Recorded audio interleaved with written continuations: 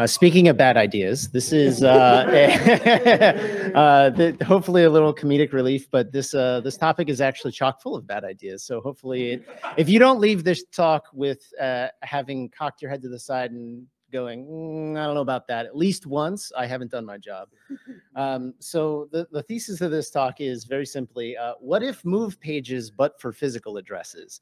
And that should make you cock your head to the side from the beginning. Um, so the thesis here is, uh, so I've talked to just about every CXL hardware vendor that has either talked about their uh, hardware openly or not, and they're all kind of discussing, all right, if we implement multiple levels of memory in our device, what kind of fun things can we offload? You know, if a simple idea might be, if I have uh, DRAM and uh, NAND in the same device, maybe I can offload page faults. Whether or not that's a valid idea not for this talk. All we have to think about is in terms of memory tiering, there are real problems there.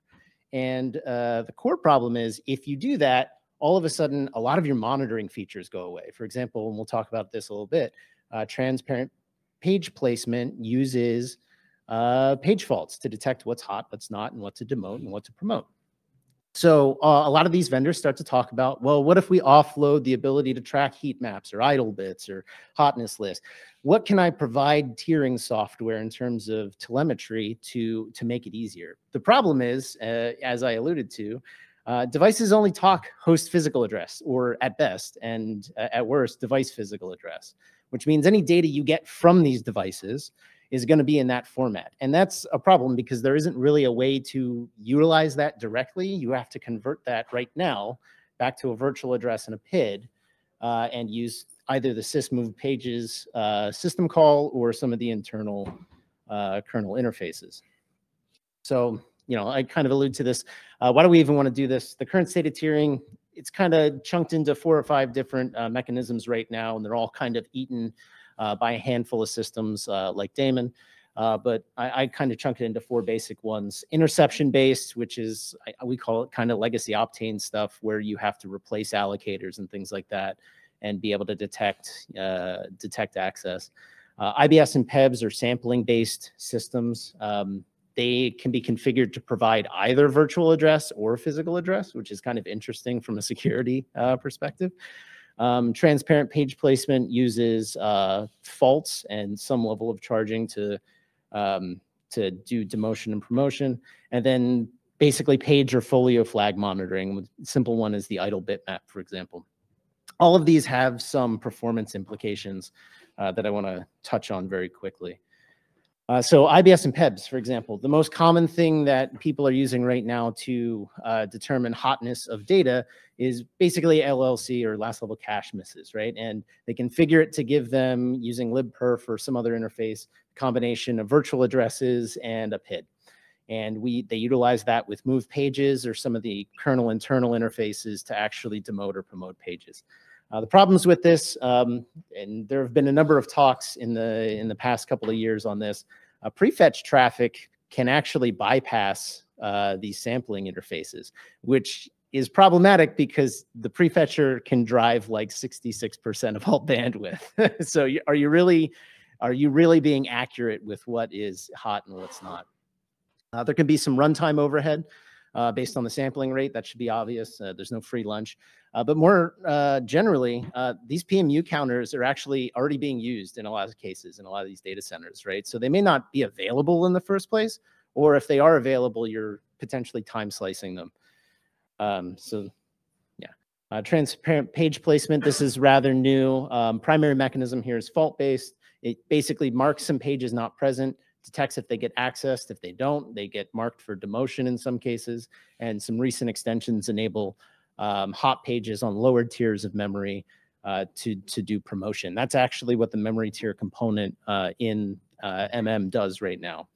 Uh, so there's some, uh, yeah, the additional extensions. So the problem here is fault overhead, right? There's tail latencies. Every time you add these faults into the system, you're going to eat the, the cost of that fault.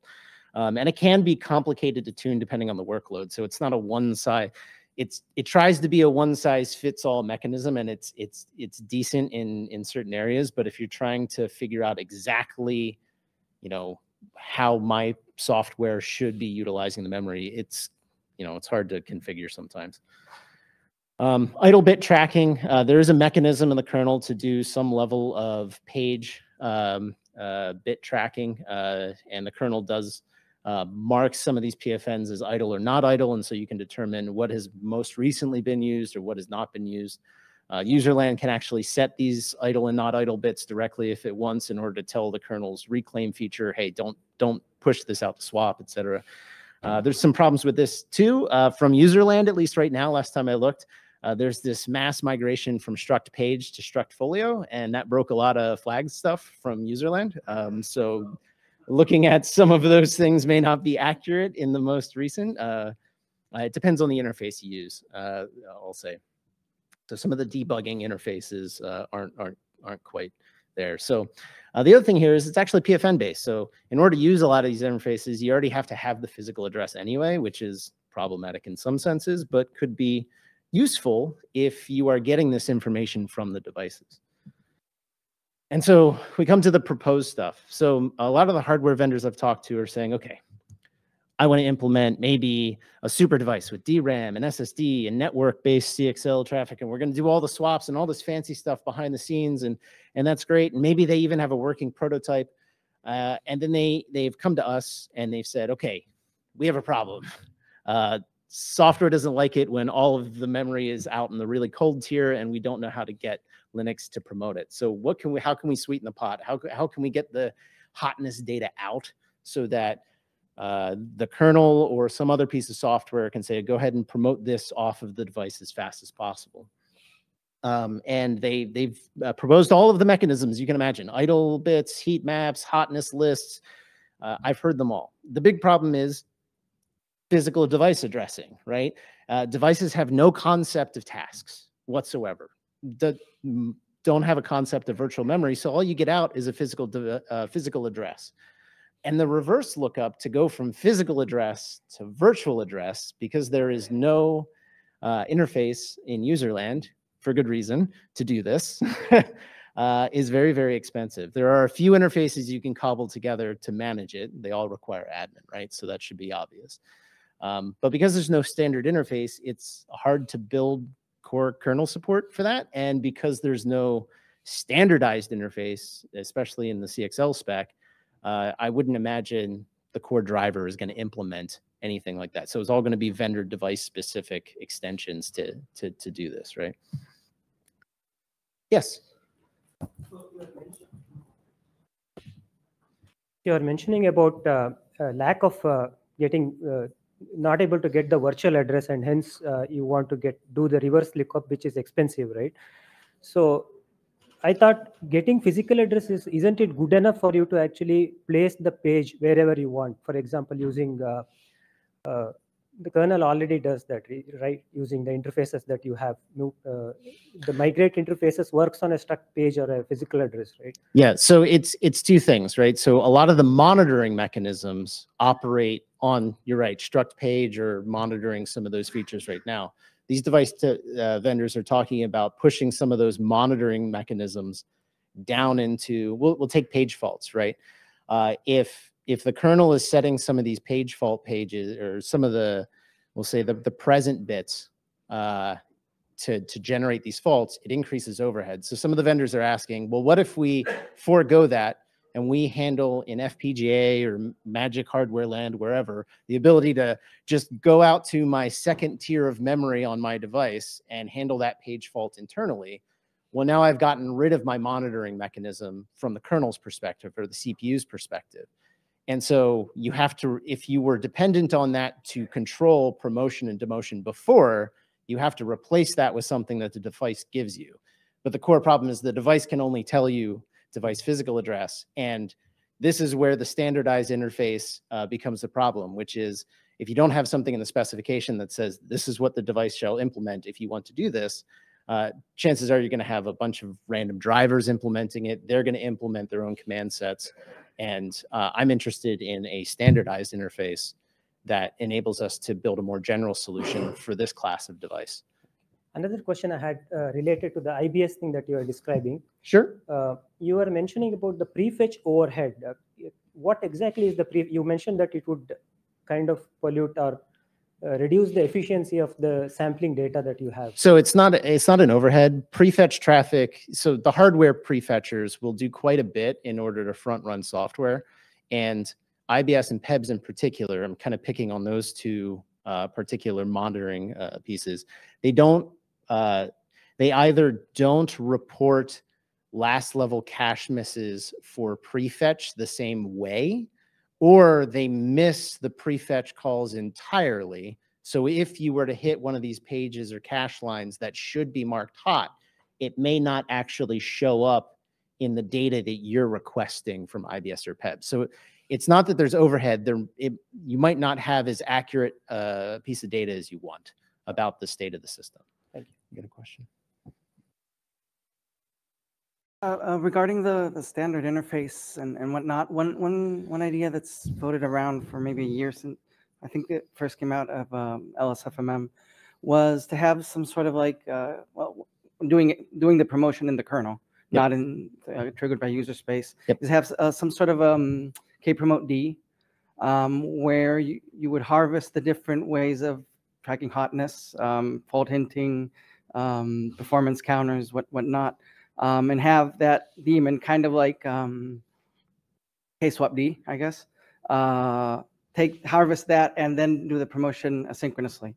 Um, that I mean that's that's easy easier said than done, but that's that's kind of like where, where the MM, the kernel MM folks are um, trying to go. Yeah. yeah. And and the did you have something? Yeah. Oh, the only thing I was going to say was, uh, and when we cross into what interface should the device provide, there's a little bit of a chicken and egg scenario until someone kicks the can over the line. No one knows what to implement, and that's kind of where I'm at in terms of well, here's an interface you can use to prototype. Go ahead and do it. Whether or not this is ultimately the best interface, probably not, but we'll you know we can uh, we can discuss it. Um, yeah, and, and and also one of the nice things about that is that like you have different kinds of the the, the, the inputs can be virtual addresses, can be yep. PFNs, whatnot, and again, automatically um, kpromoted would would solve and, that. And DAMON eats a lot of this already, so DAMON implements a lot of that abstraction as well. Uh, we, you know, you almost kind of said a solution. We are talking about how the monitoring mechanism doesn't get updated or doesn't know like that the, the device the, the device knows something that that the current kernel's currently monitoring mechanisms don't understand. But like, can that seems like a simple matter of hardware. Like, like, like, what, what if hardware updated the structures that Linux cares about? True. The the the hardware would have to know about those uh, yes. those things, so that these, be, these would be Linux specific devices. Yes. so there there is there is that there is that. Yeah, of all, they're probably architecture specific. These structures are not necessarily right. constant cross architecture. Well, and also they they might even be built the legacy ones. they, they, so in the for the sake of time, I'll, I'll kind of jump through a bunch of these. So I, have talked a little bit about the reverse lookup overhead. You can do this right now using userland. You can do all of this reverse lookup. There's a couple of different things. And we, we tested, what does it actually cost to do this? What does it cost to do this when we're running with additional compute available and when, when, the, mem uh, when the system is pressured for compute as well? Uh, so to kind of summarize these awful charts, uh, the top is the chart when there's compute available. Um, and you see as we utilize uh, more memory, right, 64 gigabytes on the left and 512 gigabytes on the right, and the sub columns here are uh, number of processes running. Uh, there's uh, basically an expected linear increase in the amount of time it takes to uh, to to reverse map this amount of data. So 200 or 512 gigabytes, it takes 90 seconds uh, to reverse map a, a, whole memory map of that region. If you use bigger pages, it'll be less, obviously. Um, but 512 is probably not the target figure for some of these devices. You might be looking at eight terabytes of, of potential memory for really big capacity plays, right? But it, it gets really bad when we look at as soon as your system is pressured for compute, all of a sudden it goes from a linear increase to you got to steal those cycles from somebody and now you're putting additional bandwidth pressure on you're putting all this stuff in order to move that data and and you're actually eating up data in the process because you have to build this reverse map before you can make any decisions about where you want to move the data. And the ultimate, the thing that really kicks, uh, shoots this dead is the fact that this is only good for one snapshot in time. So during all of that time, during that 90 seconds or uh, five minutes that you're building this map, your data is going more and more and more out of date, right? And so that means it's less useful if for the latency tiering perspective. Um, so that's, yes, reverse mapping is actually really, really bad. um, so there is limitations to doing these offloaded tracking limits, and, and I'll talk a little bit more about the implementation of Move Phys pages. Um, obviously, I've mentioned hardware has no contextual information about a page. So a physical page could actually be reused very rapidly between uh, dying and creating created processes. And so if you migrated that page up, well, it's it might just stay hot right? Because if that that particular page is being used by the kernel to just uh, reallocate between processes, well, it's going to look hot, but that's not actually realistic. Um, transparent huge pages actually uh, potentially cause this problem. So by no means is this a perfect solution, but it is. I I do think it is enough to, to start the conversation. And there are many unknowns in this scenario, as we discussed already, largely because uh, all the hardware vendors are like, what could you implement? And uh, the software implementers are like, well, no one does this, so I'm not going to bother exploring use cases, right? Just a quick comment. Sure. The reused, rapidly reused page is definitely hot.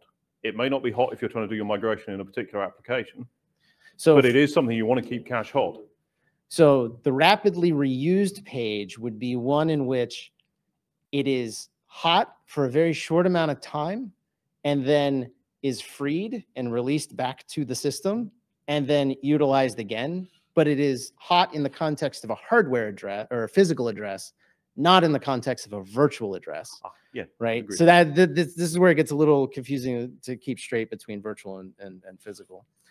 Um, so I do have a working implementation uh, of Move Phys pages. It's it's based on uh, version 6.6. I can't get it up to 6.7 on on the main at the moment because I have to do some pretty nasty rebases. Um, but it is actually two commits. It's very stupid simple. There's one refactor commit that takes the existing move pages code and makes some of it reusable. And then the second commit implements the syscall. This is only on x86, but if you have a particular, if you want ARM, I'll, I'll do it on ARM and it, it won't take me that long, probably an afternoon. Um, and it actually just does, it reuses all of the move pages infrastructure and then just all it does is remove the PID from the syscall, uh, and you ha you hand it a physical address instead.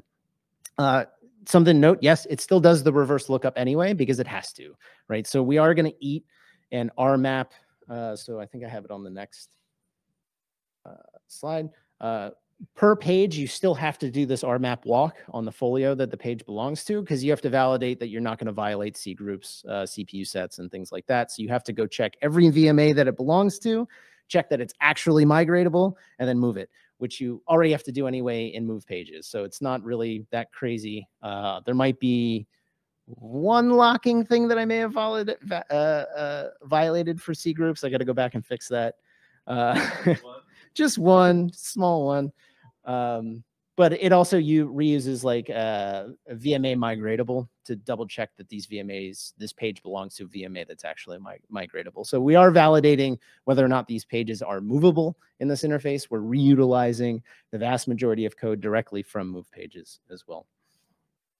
Uh, and there's already been a little bit of feedback and some other ideas. Uh, the first one I've heard was, well, can we create the interface but not the syscall? I think that's totally valid. Um, there's two issues that I see with that. First is it allows development, but really only in drivers or in the core. And until you have a, a standardized interface that devices can implement, it doesn't necessarily, it may hurt adoption uh, or it may hurt people that are interested in doing it but don't want to write a driver, right? Um, may not encourage the open development. So if somebody actually figures out how to do this really well, they could just close source their driver unless we GPL this particular uh, symbol, for example. Um, and then the other the other one was the obvious feedback, which was userland shouldn't talk physical addresses go away, uh, and that's a legitimate concern. Um, the the feedback I would I would say there is that IBS and PEBS can already conf be configured to not just give you one or the other, but both the virtual and physical address mapping. Um, and that's why it requires CAP_SYS_ADMIN. And that's why this interface would also require CAP_SYS_ADMIN. So from a security perspective, it's no worse than IBS and PEBS uh, in that sense. Um, so I think that's what I got in terms of questions. We got three minutes and then we can all. I think, I think the other the other concern about giving the syscall though is also like forever cutting off the kernel core kernel from a policy mechanism. Like yeah. No, absolutely. I, I, totally agree with that, and that's why I said this. Uh, this this talk is chock full of bad ideas, but it it does give something for people to prototype against in the meantime until we kind of figure out whether or not this is an actual legitimate idea. But, but if we imagine a world where a, CXL memory expander is giving hotness calls information, couldn't that just couldn't that expander driver be a generic thing that just calls internal move pages? And my follow-up question to you would be, would you integrate that without uh, it being in the CXL spec as a full formed feature? That's all I'm saying. yeah, yeah. Well, no, as the kernel maintainer, it was like, wouldn't you want to see that as a, an actual generalized feature that is defined? I mean, like, yeah, we we we we, we generally operate on on what's in on what's in the spec. Yeah, yeah. And that that's all I'm saying is yeah. I completely agree with you. And my my feedback would be that sounds like something we need to standardize.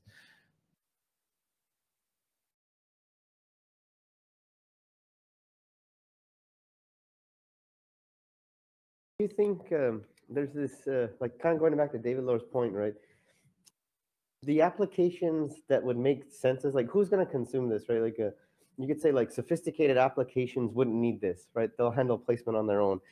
And then kind of the ones that eh, you know make the best case possible, let the kernel do it internally, right? Like why give them this power afterwards, right? Like what is? Yeah, one of the pieces of feedback that I got was um, the kernel should do this, and mm-hmm. I and as we just discussed, I actually agree with that. Okay. Um, but it is a little bit of a chicken and egg scenario. I think until you can prove there's a legitimate use case, yes, uh, it, the kernel will not do it. Yes. Um, and so uh, the proposal here is, can we get something so we can at least get it moving along? Uh, and in the mean in the meantime, the patch is there; people can use it. Yeah, that's what I was going to say. Yeah. Why do we need it upstream for the purposes uh, of development? And we need the refactoring and everything. So the refactor, yes, yeah, and the and the core interface, yes, but it, it, it it's a. I don't think necessarily the syscall as it is should be upstream. I think the refactor should and and uh, interface be made available. Uh, but it's fun to talk about implementing a new syscall. Got it. Um, so this is for the purpose of CXL device memory, kind of hotness access tracking. Why would the user space be the first be be handling this kind of information? Why wouldn't they have? It's kind of in the same realm of uh, the discussion we were just having. Yes, ultimately, I think a general tiering piece of software is probably better handled by the kernel because it has better general information around uh, the system. Mm-hmm. Um, but there is a bit of a chicken and egg, right? So if we get something that allows us to do this type of movement in user space, we can very rapidly prototype off of custom devices, off of a variety of things that happen to pop up. I see. So these devices would expose something to the user space yes. and, and show and, and, information. And it, it, would be done probably in the form of uh, uh, vendor specific uh, mailbox commands to be able to. Uh, uh, I mean,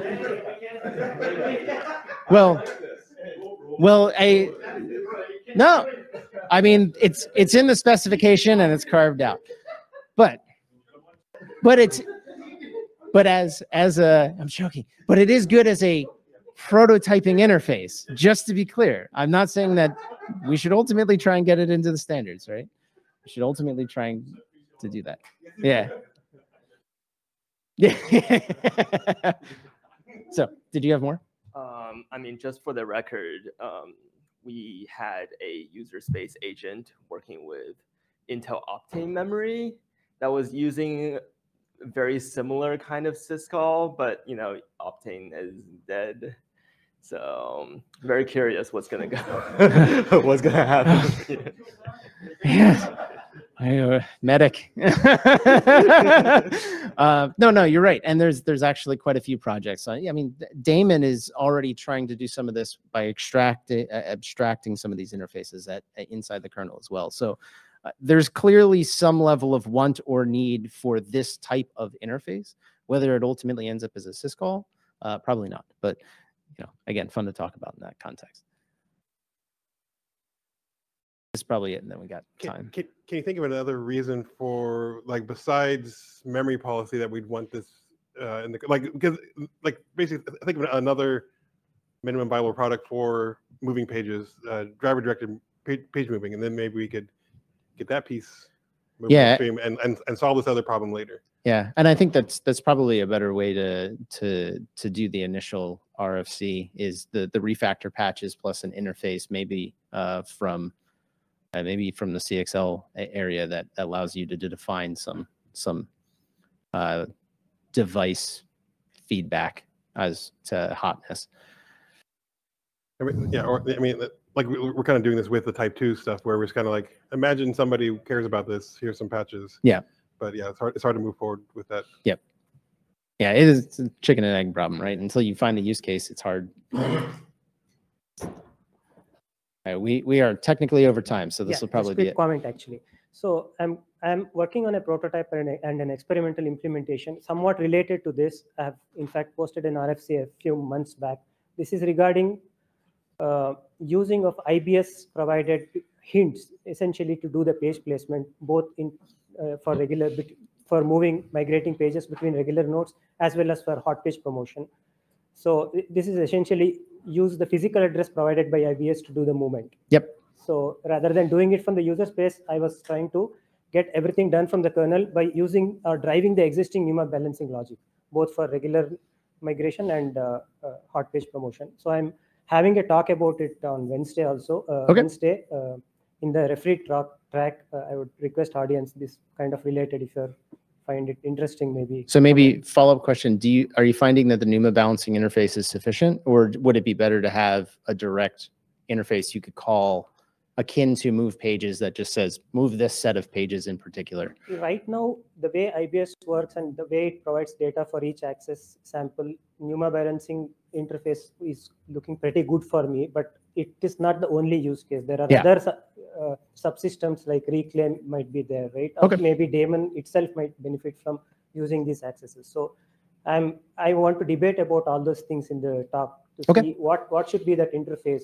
Should we have a common subsystem which actually collects all this information and makes it available to the consumers uh, within the kernel, different subsystems.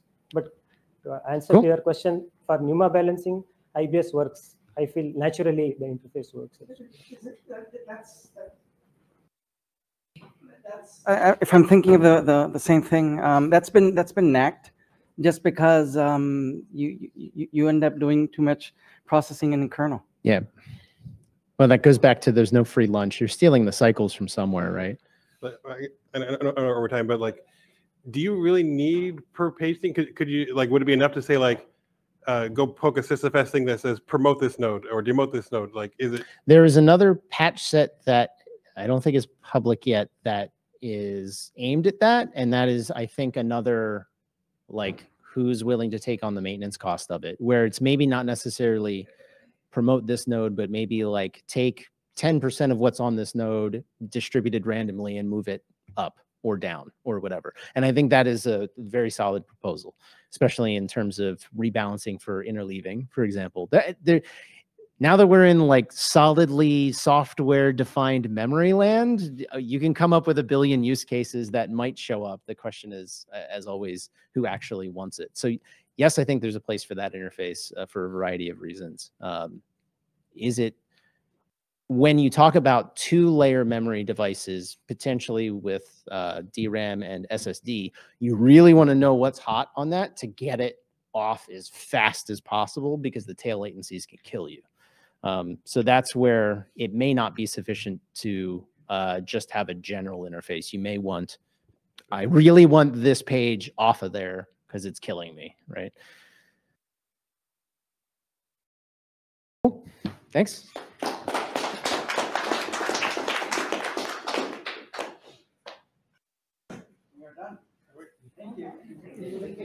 Thank you, organizer. Yeah. Yeah, yeah, yeah. Big thanks, Davidlohr, for, for curating all those talks today. Yeah, a lot of work. keeping us on